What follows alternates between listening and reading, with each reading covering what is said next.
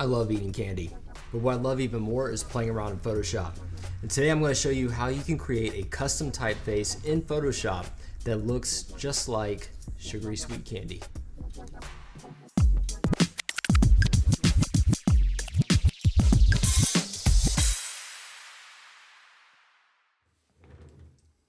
Alright guys, so we're going to create our custom typeface to look like candy. This is going to be quick and easy. If you have any questions, leave them in the comments below. I'll get to them immediately. So the first thing we're going to do is I found this great image and what I like about it is it's got all this kind of powdered sugar and I think that's going to help us with uh, convincing the people that check this out that this is candy. It looks like candy. It's sweet. It's juicy. All right, let's just get into it. All right, so the first thing I'm gonna do is we've got our, our image layer here. We're gonna go and create our type. So grab your type tool, click, and let's use the word desserts. Why not? We're gonna highlight the text. We're gonna come in here, and I've already picked a font that I really like called Signatura or Sinatra or Signet, Sig, whatever, Signatura. You can find it in dafont.com. It's loaded with thousands upon thousands of fonts. Um, one thing to be sure of, if you're using a script font like this, make sure that this just goes to metrics. Optical always kind of messes up uh, script fonts.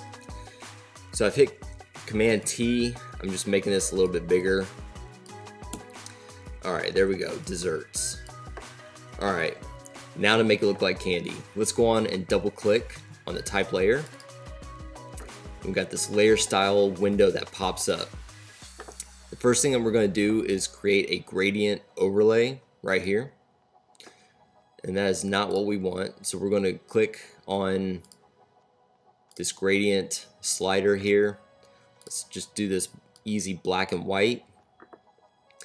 And let's double click on the white. Double click on that white. We're going to pull up this color picker window. And I want to grab a couple of colors in here. Let's grab, we want, you know, the black down here, we want it to go from dark to light up top. Let's grab a couple of nice colors. Let's do, um, about, let's find a red. And that looks pretty good. Let's grab this down here. Let's find a nice, let's go to a very light color up here. And actually, so right now it's doing the opposite. It's going dark to light. We want it to do the opposite. So we're going to, let's just go on and hit OK, hit reverse and then I'll flip it. So we got the light coming in from the top. And I'm gonna add one more color, I think in here. So I'm just gonna click, you know, right here in between, just right here down below the slider.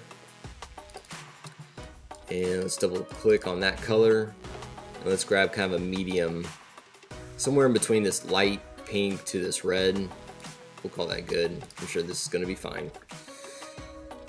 And the thing that's kind of making this look kind of uh, ugly is we got this blend mode here to soft light.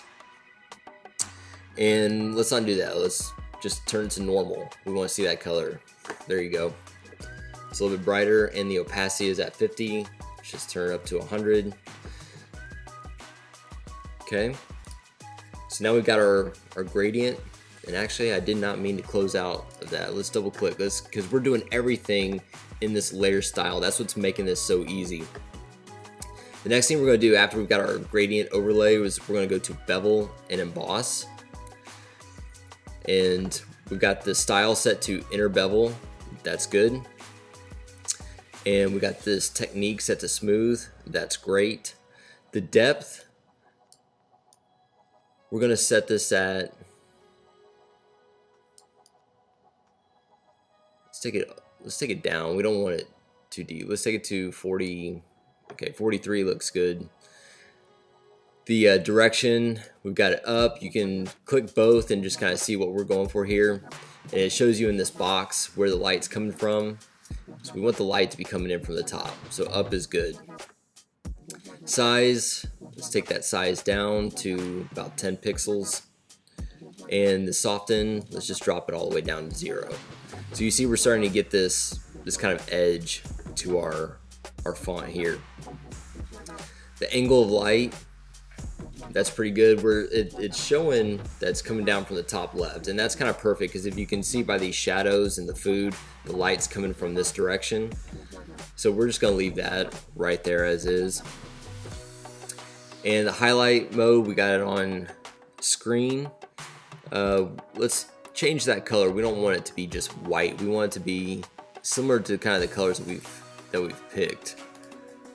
Let's just go and pick a light light kind of pastel coral, whatever you want to call it. And then the shadows, we got set to multiply, that's great. And let's pick a red down here to kind of drop right down here in these shadows.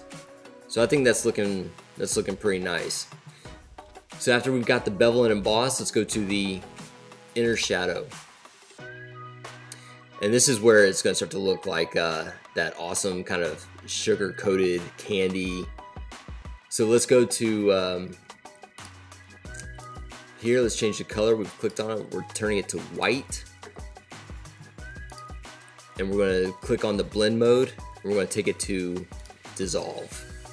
And there you go. Now it's starting to look like that kind of uh, you know sour gummy worm look. Love those things. So let's take the opacity here to, I don't know, we can, let's turn it down because we don't want to look, we don't want to look crazy. Let's turn it down to somewhere around here. Let's take that distance to 14. The choke is good at zero and the size, let's kind of play with that. The size, I think that looks pretty good right there.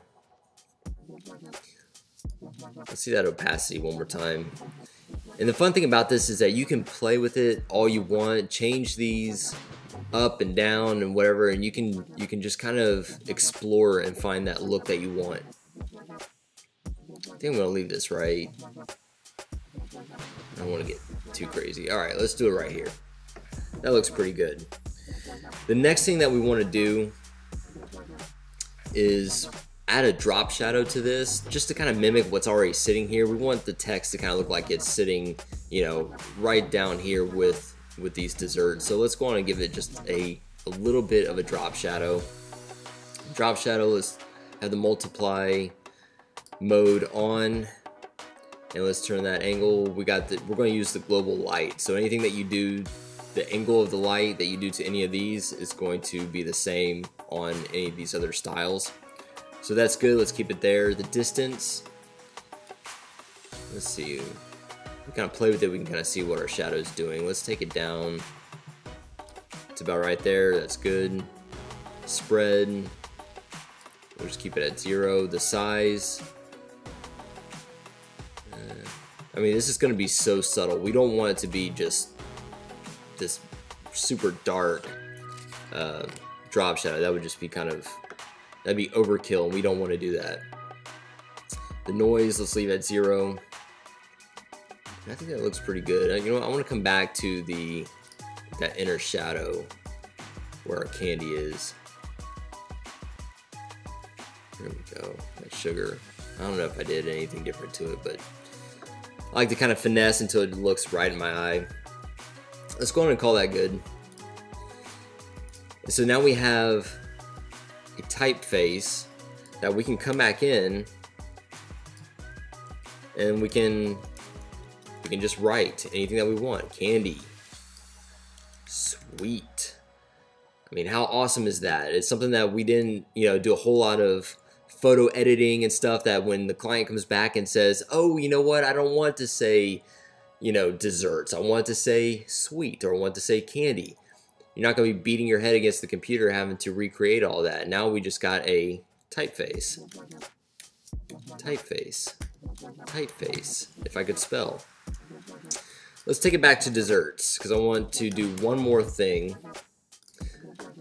that I kind of like to do in this in this case. I want to go to type. I'm going to drop it down here to warp text.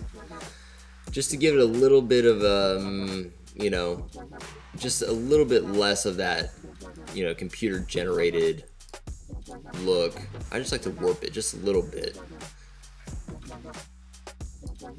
Sure, why not? Let's just do it right here. Now the cool thing about this is after we've created our layer styles here in this type, we can easily do something like that again. So let's go right above desserts and let's write, I don't want to do that. Let's lock this so I don't accidentally type on that again. All right, up here, let's write, let's write sweet. Let's change the font to another font found on dafont.com, coffee and tea demo. And let's turn to all caps. And we're going to hit Command T. We're going to make this a little bit smaller. And now, since we've already created our custom font with these layers, I'm just going to hold Option. I'm going to grab the FX right here, click and drag to our new layer. Sweet. And there you go. I mean, it's already it's already done. You can adjust it however you want. Let's see. We can double click on this and let's what if we change the the gradient overlay? What if we don't want it to look just like this pink dessert? What if we want to change the color of this to be more of a Ooh, yeah, maybe a nice blue. Let's do something kind of mid in between there. Okay, and then let's do a darker blue down here at the bottom. This is this is probably a little too bright. It doesn't look doesn't look realistic anymore. Sure, why not? Let's leave it right here. I mean, so you get the idea. You see what we're doing. Just through double clicking on your type and playing in the layer styles, you can create custom typefaces to look like whatever you want. And then you can just go back and type into it. Super easy. So you want more than that? Let's go on and grab the brush tool. And we're just gonna we're just gonna put candy all over this thing. Click a new layer, got your brush tool, got a little dot. We're going to option click the effects, click and drag to your layer. There we have another piece of candy. Let's change that piece of candy to a different color. What if we turn it to, let's go in the green. Let's go with the green palettes. And then we're just going to get darker greens as we go further into the shadows. Alright, now we got a green piece of candy. That we can hold the option. Let's grab that piece of candy. Let's create a lot of candy. We can change the size of that candy. And so you get the picture here. We've done, we've, we've created an easy, easy font and only using the layer styles. Alright, well there you have it guys, your very own custom typeface that looks like candy. I hope y'all found this tutorial helpful. If you did, please hit that like and subscribe button down below. And if you hit that little bell in the top corner, you'll get notifications of the next time that I post something. And if you have any questions or comments, leave them in the comment section below. I'll be sure to answer them as soon as I can. So again, guys, thanks for stopping by and be sure to tune in for more.